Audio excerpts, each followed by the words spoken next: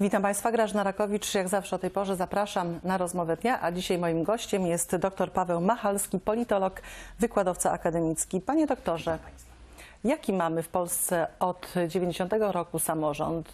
Coraz częściej organizuje się spotkania, podsumowuje się ten czas trwania samorządu. Jaki jest ten samorząd?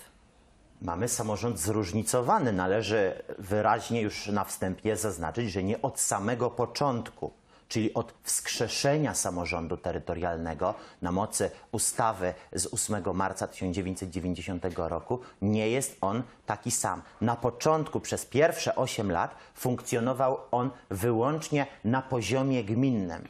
Była tylko samorządowa gmina. 49 województw miało charakter rządowy. Dopiero 5 czerwca 1998 roku, którego dwudziestolecie właśnie obchodzimy, przyniósł samorząd terytorialny również na szczeblu powiatowym i wojewódzkim, wpisując się w te typowe dla Europy, powiedzmy, Unii Europejskiej i Europy Zachodniej standardy, gdzie dominuje ta trójstopniowość samorządu terytorialnego. Co w Pana ocenie w tym naszym polskim samorządzie terytorialnym udało się najbardziej? Najbardziej przede wszystkim udało się e, wskrzesić tą ideę, przywrócić po no, prawie 40 latach, bo właściwie dokładnie 40 latach, bo od 50 roku e, nie było samorządu terytorialnego w Polsce Rzeczypospolitej Ludowej. To samo wskrzeszenie, czyli włączenie mieszkańców początkowo gmin, czyli społeczności lokalnej, do współdecydowania o swoich sprawach wedle zasady decentralizacji i subsydiarności, o tym co najbliższe. Przecież jak zobaczymy dziurę w drodze, to nie będziemy zgłaszać do ministra infrastruktury, od tego mamy struktury gminne, miejski zarząd dróg i tym podobne. Mamy bliżej to. To, tak, to przybliżenie władzy, przybliżenie organów, w tym przypadku administracji samorządowej do ludzi, to jest taki największy sukces. A coś szczególnego nie udało się w samorządzie? No, pani redaktor, niestety wiele się nie udało. E, Powstało szereg raportów naukowych, szereg analiz e, dotyczących dysfunkcji, problemów, z którymi zmaga się e, samorząd terytorialny. Taki najbardziej znany raport e, to e, zasadnicze dysfunkcje, podstawowe dylematy i największe problemy, wyzwania samorządu terytorialnego pod redakcją profesora Hausnera i krakowskich autorów. Wiele dysfunkcji. Co na pierwszym miejscu Pan by postawił tutaj? No na pierwszym miejscu ja bym postawił zgrzyty na linii administracji rządowej i samorządowej, które należy datować na sam początek samorządu terytorialnego. Z czego one wynikają? E, No, wynikają one z takiej tendencji władzy centralnej e, wszystkich rządów. Nieprawdą jest, że ostatnich lat, wszystkich od roku 1990 e, z e, takiego traktowania, ja cytuję te raporty e, politologów, prawników, z traktowania samorządu terytorialnego jako swoiste ciało obce, do trakt, co najwyżej tolerowania jego istnienia i przedkładania mu trudnych zadań z pewnym deficytem środków na ich realizację. Ale to nie wynika ze słabości samorządu? Bo tak też można pomyśleć. Nie, nie. Samorząd w Polsce jest podobny. Ja nawet y, godzinę temu jeszcze ze studentami porównywałem e, samorząd terytorialny w Polsce i we Francji. Struktura, me- mechanizmy funkcjonowania są bardzo podobne e, w granicach państwa unitarnego. E, To nie wynika ze, ze słabości samorządu, to wynika no, z takich, ja bym powiedział, jeszcze dużo, dużo przedsamorządowych, takich naturalnych tarć i chęci e, no, z tej władzy, z tego bochenka władzy e, przywłaszczenia najwięcej jednej stronie, rządowej bądź samorządowej. Tu są liczne przetargi, zawsze wszystkie rządy, wszystkie opcje. Także geneza tego na rok 90 musi być postawiona. Ich się nie uniknie, ale wskazuje się także, że samorząd stał się areną sporów politycznych. Podziela Pan tę opinię? E, Pani redaktor, tu byśmy musieli wyjść od e, definicji polityki. Co to jest e, polityka? No taką najprostszą definicją, najłatwiej do zapamiętania. Jest to roztropna troska o dobro wspólne. A podziela pan tę opinię, panie Jak doktorze? najbardziej, pani redaktor, czy samorządowiec w, tym, w tej definicji nie jest politykiem? Czy on nie ma troszczyć się o dobro wspólne, o dobro wspólne miasta, wsi, gminy, sołectwa, powiatu? Jak najbardziej. Dlatego samorząd jest politykiem. Ale I pewne- dlaczego się ubolewa nad tym w takim razie, patrząc z drugiej strony, że ta polityka tak mocno do samorządu wchodzi?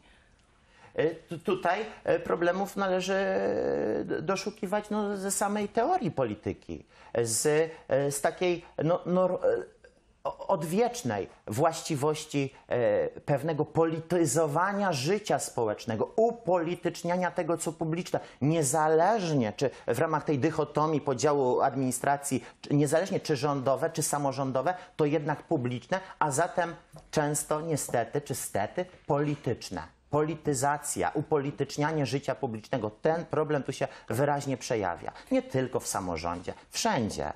Ale też, y, jak się komentuje, y, myśli się, y, jeśli chodzi o to politykowanie w ten sposób, jestem bliżej ludzi, mam większe szanse na wybór. Tak.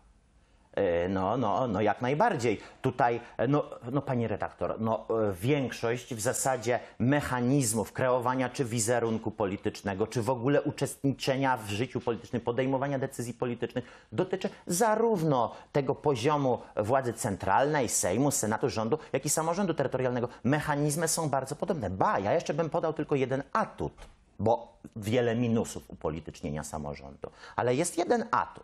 Samorządy przez pewne upolitycznienie, zwłaszcza powiatowe e, i wojewódzkie, bo należy wyraźnie zauważyć, że w gminach to upolitycznienie jest mniejsze. Wystarczy spojrzeć na nasze gminy, na nasze miasta, tu dominują komitety lokalne. Ale upolitycznienie powiatów i województw często jest taką kuźnią kadry politycznej na potrzebę już Warszawy i administracji centralnej. Wielu obecnych e, posłów, e, nawet prezydent Rzeczypospolitej, e, była pani premier, mają e, historię samorządową. Tu się dużo nauczyli. W tej ocenie samorządu terytorialnego wskazuje się, że najbardziej, najdynamiczniej y, korzystają z tej samorządności województwa. Co sprawia, że właśnie te województwa rosną w siłę? Od 1975 roku funkcjonuje Fundusz Rozwoju Regionalnego Unii Europejskiej, z którego Polska no w zasadzie już w pewnym sensie przed członkostwem, ale zwłaszcza od 2004 roku korzysta. I o ile gminy i powiaty e, w swoich kompetencjach znajdują realizowanie takich zadań publicznych, zadań własnych bądź zleconych, o tyle oczywiście e, województwa też mają drogi wojewódzkie, książnice czy szkoły wyższe, ale e, w dużej mierze e, do e, kompetencji województwa należy redystrybuowanie, rozdzielanie środków Unii Europejskiej. Fundusze unijne to domena samorządu województwa. Ale czy y, samorządy jedynie czerpią te fundusze, czy też w jakiś sposób wpływają na integrację samorządów tutaj polskich z Unią Europejską? Pani redaktor, tu trzeba e, też e, wyraźnie wrócić trochę do relacji rządowo-samorządowych. Niestety, samorządowcy e, często ch- chcą pełnić rolę beneficjenta funduszy Unii Europejskiej. Tymczasem dla właściwego, równomiernego rozwoju najlepiej jest, aby pełnili oni rolę nie tylko beneficjenta, co też ma swoje znaczenie, ale przede wszystkim partnera. Partnera zarówno instytucji Unii Europejskiej, jak i organów władzy naczelnej, władzy centralnej A Rzeczypospolitej. dlaczego o to trudniej, jak rozumiem?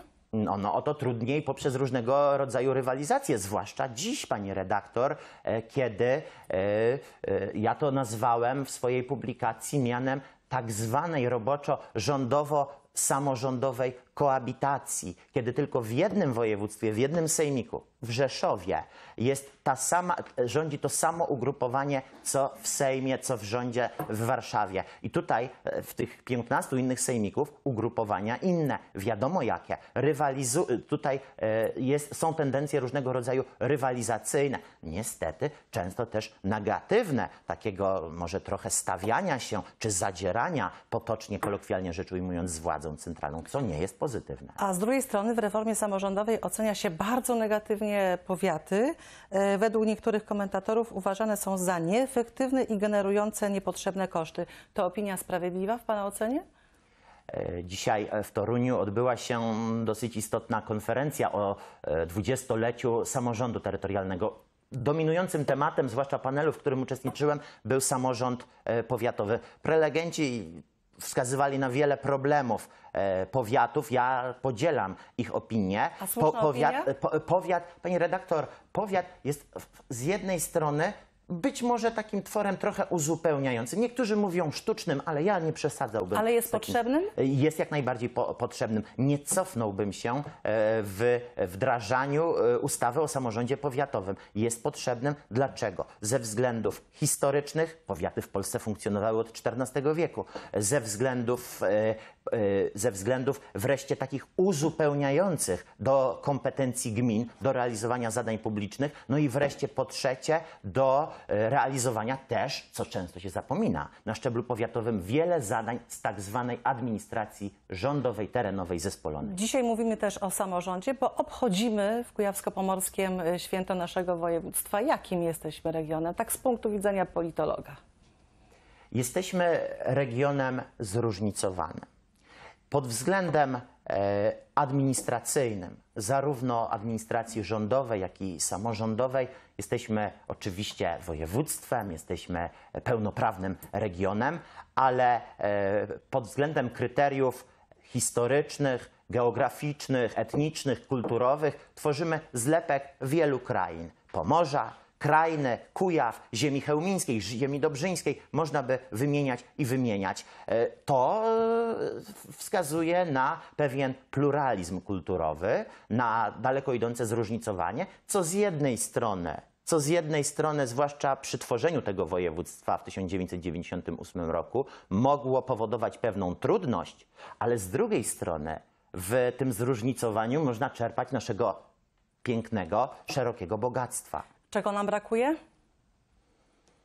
Jeśli Brakuje zgody. Brakuje Zgody. zgody. Brakuje zgody, zwłaszcza pomiędzy samorządami największych miast, e, czyli Bydgoszczy i Torunia, ale e, także takiej pamięci o tym, że województwo tworzą wszystkie gminy, tworzą wszystkie powiaty, a zatem nie tylko miasta powyżej 200 tysięczne, ale też Grudziądz, ale też Włocławek, Inowrocław, Chełmno i szereg gmin I jeszcze mniejsze gminy.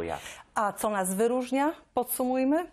Co nas y, wyróżnia? Wyróżnia nas y, korzystne położenie, które jest naszym wielkim potencjałem. Z jednej strony stosunkowa bliskość Warszawy, z drugiej Wybrzeża i Bałtyku i duże miasta. Mamy aż cztery miasta e, na prawach powiatu. To duży potencjał gospodarczy. Wykorzystujmy go. Czego by Pan życzył mieszkańcom z okazji ich święta tak naprawdę?